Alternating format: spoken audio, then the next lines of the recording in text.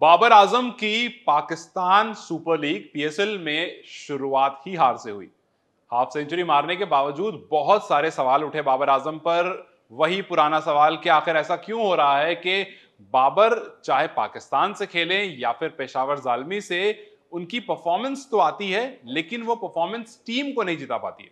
लोगों को याद आ गया न्यूजीलैंड वाली सीरीज़ जहाँ पर पहली तीन टी ट्वेंटी में बाबर आज़म ने काफ़ी अच्छी परफॉर्मेंस दी थी। अगर आप स्टार्ट उठा करके देखोगे तो। आप देखोगे कि बाबर आज़म ने हाफ़ सेंचुरी लगाई है। अब देखोगे स्ट्राइक रेट अच्छा रहा है बाबर आज़म का, उसके बाद दूसरे मैच में आओगे, वहाँ भी देखोगे एक और हाफ़ सेंचुरी वहाँ पर भी स्ट्राइक रेट अच्छा रहा है। तीसरे मैच में आओगे, वहाँ पर भी अच्छा स्ट्राइक रेट रहा है, वहाँ पर भी हाफ़ सेंचुरी लगाई है। आज के मैच में आओगे, आज भी आप यही देखोगे कि स्ट्राइक रेट अच्छा रहा हाफ़ सेंचुरी लगाई, लेकिन टीम ना न्यूजीलैंड वाली सीरीज़ में पहले तीन मैचेस में जीती थी और ना आज जब पीएसएल में कोयटा ग्लैडिएटर्स और पेशावर जालमी पहली बार आमने सामने आए तो बाबर अपनी टीम को नहीं जिता पाए।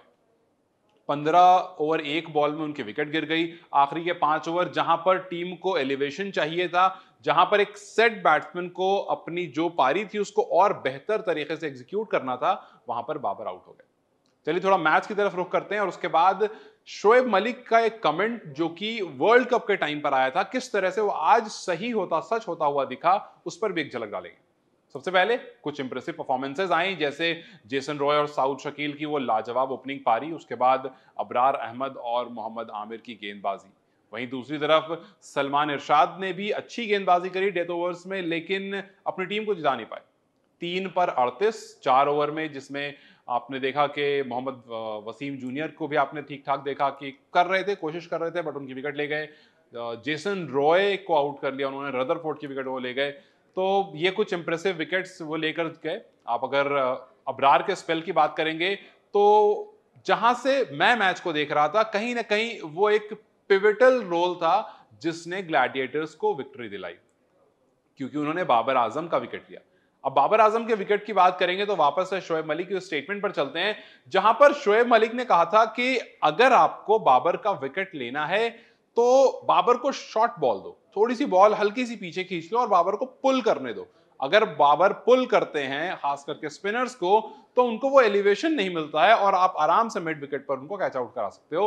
और कुछ ऐसा ही आज देखने को मिला, उन्होंने पुल किया बट वो एलिवेशन नहीं आ पाया और बाउंड्री के अंदर ही कैच आउट हो गए। तो शोएब मलिक को, और ऐसा नहीं कि शोएब मलिक, काफ़ी बार हमने और भी प्लेयर से सुना है कुछ कुछ बाबर की कमियों के बारे में, और उसमें से एक कमी ये भी है कि वो एंकर रोल जहाँ पर विराट कोहली से उनका कंपैरिजन होता है, वहाँ वो अपने आप को प्रूव नहीं कर पाते हैं।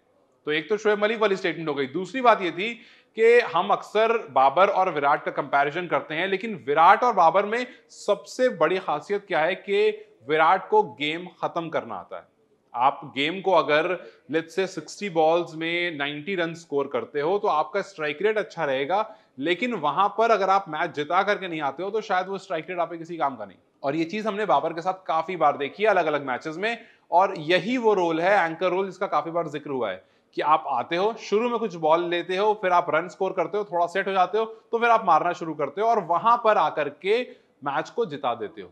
लेकिन यहाँ पर एंकर रोल जो है इनका कंप्लीट नहीं हो पाता है। जब विराट कोहली से इस बारे में पूछा गया था तो उन्होंने कहा था कि जी, हम जब टीम मीटिंग करते हैं, हमारे डिस्कशन में यही होता है कि मेरी ज़िम्मेदारी यह है कि मैं मैच को थोड़ा ऊपर लेकर जाऊँगा और वहाँ से फिर अपनी पारी को तेज करूँगा और मैच को जिता दूँगा।